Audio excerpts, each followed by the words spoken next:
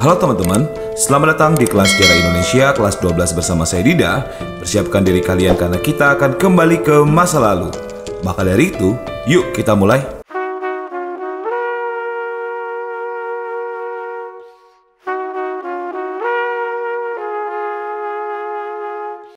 Situasi pelik yang dihadapi oleh pemerintahan Ali Sastro Amijoyo dalam menghadapi tuntutan daerah yang semakin menguat untuk memintanya mundur dari jabatannya selaku Perdana Menteri mengakibatkan koalisinya dengan Masyumi mengalami perpecahan.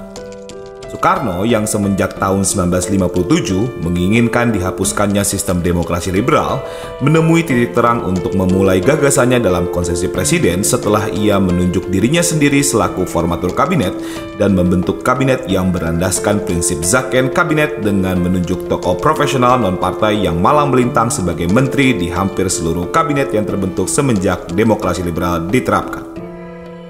Juanda Kartawijaya terpilih menjadi Perdana Menteri ketujuh yang akan kita bahas dalam materi kita kali ini, yaitu masa demokrasi liberal Kabinet Juanda. Nah, untuk memudahkan kalian dalam memahami materi, maka dari itu perhatikan peta konsep berikut ini. Pertama, kita akan melihat bagaimana pembentukan dari Kabinet Juanda. Kedua, kita akan melihat bagaimana perkembangan dari pemerintahan Kabinet Juanda. Dan terakhir, kita akan melihat bagaimana akhir dari Kabinet Juanda. Maka dari itu, yuk kita bahas konsep kita yang pertama.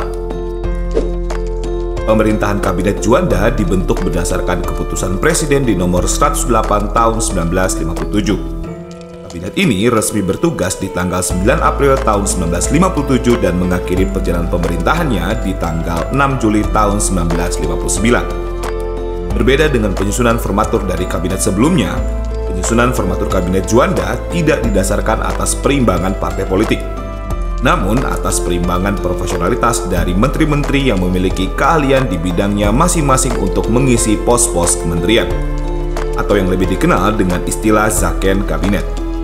Pemerintahan yang telah diharapkan oleh Soekarno semenjak ia menyampaikan konsepsi presiden di tahun 1957. Sementara itu, dalam menjalankan pemerintahannya, Kabinet Juanda menyusun beberapa program kerja yang dia namakan sebagai pancakarya, yaitu pertama, pembentukan Dewan Nasional.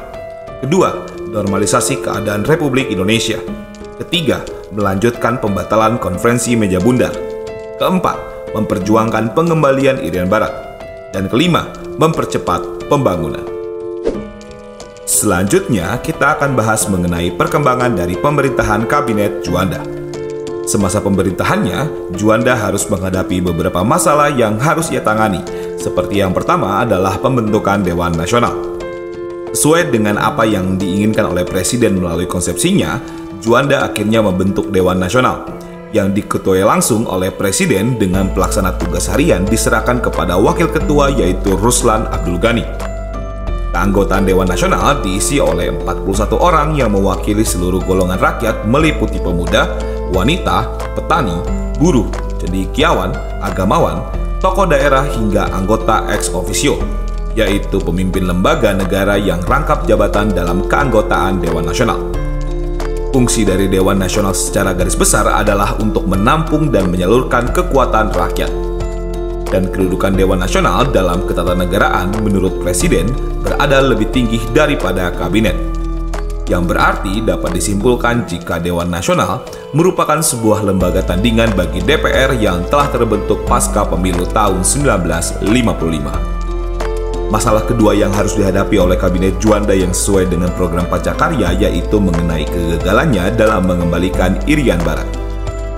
Setelah resolusi PBB gagal disepakati dalam sidang umum ke-12 mengenai status Irian Barat, Kemarahan seluruh elemen bangsa semakin memuncak sehingga perlunya sebuah tindakan-tindakan keras untuk memberi pelajaran kepada Belanda yang ternyata masih menikmati keuntungan ekonomi di wilayah Republik. Dimotori oleh Serikat Buruh dari PNI, yaitu Kesatuan Buruh Kebangsaan Indonesia atau KBKI, dan Serikat Buruh PKI yaitu Sentral Serikat Buruh Seluruh Indonesia atau SOPSI, melakukan aksi sepihak dengan mengambil alih perusahaan-perusahaan milik Belanda yang masih beroperasi perusahaan seperti KPM yang bergerak di bidang transportasi kapal, KLM yang bergerak di bidang transportasi udara, bank-bank Belanda, perusahaan niaga, perusahaan gula, stasiun listrik, perusahaan gas, dan perusahaan perkebunan Belanda. dengan dukungan dari parlemen yang menyetujui undang-undang nasionalisasi hingga keluarnya peraturan pemerintah nomor 23 di tahun 1958 yang menyatakan bahwasannya perusahaan-perusahaan Belanda yang dinasionalisasi menjadi milik dari pemerintah. Hal ini berdampak terhadap jumlah perusahaan Belanda yang berhasil dinasionalisasi mencapai 700-an perusahaan hingga pengusiran terhadap 46.000 orang Belanda. Namun, upaya nasionalisasi semenjak tahun 1957 hingga tahun 1960 akan berdampak buruk bagi ekonomi Indonesia di kemudian hari, seperti beban ganti rugi yang harus ditanggung oleh Indonesia hingga kapal-kapal milik KPM yang berhasil keluar dari perairan Indonesia. Masalah ketiga yang harus dihadapi oleh pemerintahan Kabinet Juanda yang sesuai dengan program Pancakarya yaitu mengenai normalisasi keadaan Republik, mengenai upaya untuk mengadakan Musyawarah Nasional atau MUNAS dan Musyawarah Nasional Pembangunan atau MUNA. Setelah dewan-dewan militer daerah melakukan penguasaan terhadap pemerintahan daerah setempat. Pemerintah Juanda mengupayakan mencari jalan keluar mengenai tuntutan otonomi yang disampaikan oleh dewan-dewan militer daerah Harapan besar disematkan dalam pelaksanaan Munas dan Munap agar mampu untuk mencari solusi terbaik dalam permasalahan pembangunan daerah. Namun ternyata hasil tersebut tidak menemui titik terang, karena upaya untuk memulihkan kerjasama antara Hatta dan Soekarno tidak dapat terjadi. Selain itu, upaya musyawarah gagal terlaksana setelah tuduhan disematkan kepada pimpinan dari Dewan-Dewan Militer Daerah yang merencanakan pembunuhan Presiden dalam peristiwa Cikini di tanggal 30 November tahun 1957. Namun, di antara berbagai masalah yang dihadapi, terdapat satu prestasi terbaik dari Kabinet Juanda, yaitu kesadaran akan pentingnya laut sebagai wilayah yang integral bagi kesatuan bangsa melalui Deklarasi Juanda upaya untuk mengatur ulang mengenai batas perairan laut bagi negara-negara kepulauan, khususnya bagi wilayah kesatuan dari Republik Indonesia. Dilatar belakangi oleh dasar hukum laut warisan kolonial Belanda, yaitu Territorial Zee and Maritime Kringen Ordonantie atau TZMKO, yang semenjak tahun 1939 telah diterapkan namun menuai problematika bagi Indonesia karena batas teritorial laut yang diakui hanya sejauh 3 mil dari garis pantai terluar mengakibatkan terdapat laut bebas di antara pulau-pulau di Indonesia yang memperbolehkan kapal-kapal asing untuk berlayar dan mengancam baik itu secara ekonomi maupun keamanan bangsa. Selain itu, dengan batas teritorial yang hanya sejauh 3 mil, memberi pandangan bahwasannya laut adalah pemisah bagi wilayah Indonesia yang seharusnya menjadi pemersatu bagi archipelago state atau negara kepulauan. Sebuah ancaman besar bagi persatuan dan keutuhan bangsa.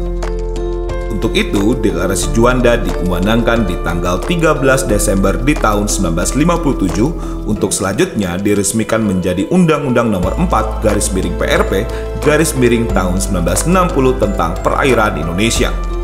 Menambah batas teritorial laut yang sebelumnya dihitung 3 mil dari garis pantai terluar menjadi 12 mil dari garis pantai terluar. Namun, perjuangan untuk menetapkan deklarasi Juanda menjadi hukum internasional bagi negara kepulauan tidaklah semudah membalik telapak tangan.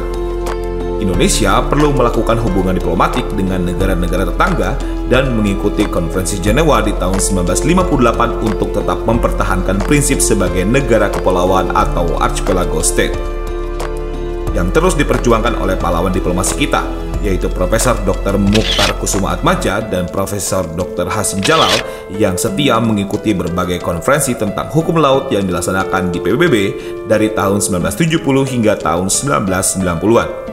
Hingga akhirnya berbuah manis setelah diadakannya United Nations Convention on the Law of the Sea atau UNCLOS di tahun 1982 yang menghasilkan kesepakatan berupa Diakuinya penambahan batas teritorial laut bagi negara kepulauan sejauh 12 mil dari garis pantai terluar, hingga penetapan dari zona ekonomi eksklusif sejauh 200 mil dari garis pantai terluar.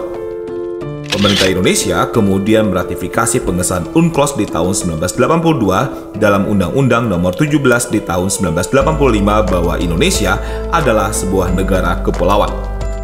Setelah diperjuangkan selama lebih dari 25 tahun, akhirnya pada 16 November di tahun 1994 setelah diratifikasi oleh 60 negara, hukum laut Indonesia diakui oleh dunia internasional. Hingga di masa pemerintahan Presiden Abdurrahman Wahid, tanggal 13 Desember dicanangkan sebagai Hari Nusantara dan ketika masa Presiden Megawati dikeluarkan keputusan Presiden di nomor 126 di tahun 2001 tentang Hari Nusantara dan secara resmi menjadi hari perayaan nasional. Selanjutnya, kita akan membahas mengenai akhir dari Kabinet Juanda. Deklarasi Juanda yang menjadi prestasi terbaik dari kabinet ternyata tidak serta-merta mampu untuk melanggengkan kekuasaannya. Presiden yang sedari awal berkeinginan untuk mengembalikan kuasanya sebagai presiden yang mampu untuk menjalankan roda pemerintahan berhasil menemukan momentumnya setelah keluarnya dekret presiden di tanggal 5 Juli tahun 1959. Dilatar belakangi oleh kegagalan dari konstituante dalam menyusun undang-undang dasar yang baru. Karena semenjak terbentuknya di tahun 1956 hingga menginjak tahun 1959, pembahasan undang-undang baru dalam sidang hampir selalu menemui kebuntuan. Tajamnya perbedaan ideologi tidak mampu diakomodir oleh partai-partai yang berada di dalam konstituante. Sulan untuk kembali ke Undang-Undang 45 yang menjadi dasar hukum bagi kehidupan berbangsa dan bernegara dengan mengadakan pemungutan suara masih belum menemui titik terang karena jumlah suara yang tidak mencapai 2 per 3 suara keseluruhan. Setelah voting ketiga, serempak para fraksi memutuskan untuk tidak lagi mengikuti sidang konstituante yang berakhir reses di tanggal 3 Juli tahun 1959. Keadaan inilah yang menyebabkan presiden yang mendapatkan dukungan penuh dari militer hingga partai-partai pendukungnya mengeluarkan dekret yang berisi Pertama, dibubarkannya Dewan Konstituante. Kedua, kembali ke Undang-Undang 45. Dan ketiga, bentuk Majelis Permusyawaratan Rakyat Sementara dan Dewan Pertimbangan Agung Sementara. Dengan keluarnya dekret presiden, mengakibatkan riwayat konstituante berakhir sekaligus mengakhiri kabinet Juanda di era demokrasi liberal. Nah, itulah materi kita kali ini. Jika ada yang mau bertanya, menambahkan, atau revisi kalau ada kesalahan bisa ditulis di kolom komentar ya. Jangan lupa like dan subscribe juga. Maka dari itu saya pamit undur diri, sampai jumpa lagi di kelas sejarah selanjutnya. Dadah!